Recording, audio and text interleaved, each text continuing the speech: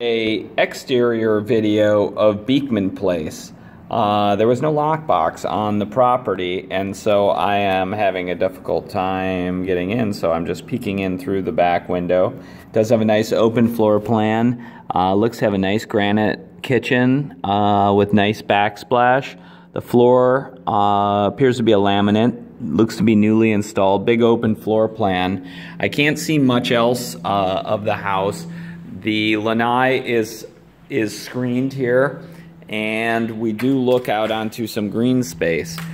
In Beekman Place, one thing that I'm not keen about, the houses are really tightly packed in here. There's not a lot of room in between the houses.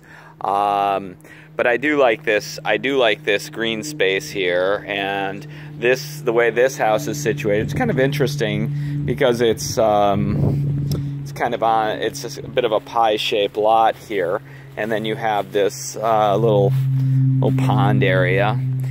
And as you can see there's no one next to you on the house here.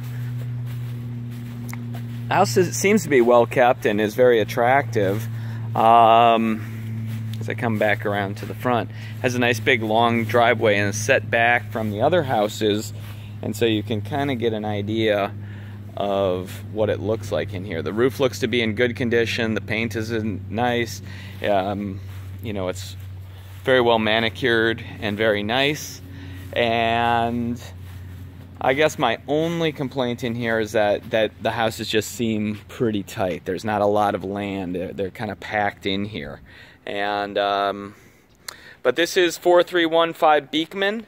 I'm Jules Roman with Yorkshire International, 941 366 0000. Thanks for watching.